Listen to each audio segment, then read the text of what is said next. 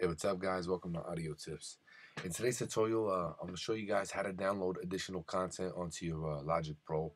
Uh, basically what this does is when you first install Logic Pro, there's tons of additional content that's free of download that uh, uh, that you need to update basically.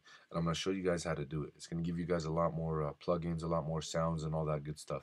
So what we're going to do is when we go into Logic Pro, Pro, whatever it is, whatever screen we open up, as long as you see the Logic Pro at the top, we're gonna go to the Logic Pro uh, um, folder, and then we're gonna go down to additional, download additional content. We're gonna click on it.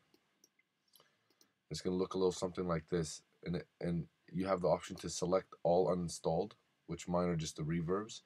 And if you and if uh, because I have uh, already installed all this additional content, uh, content, but if I hadn't installed the reverbs and I hadn't and I was doing it for the first time, all these would be highlighted.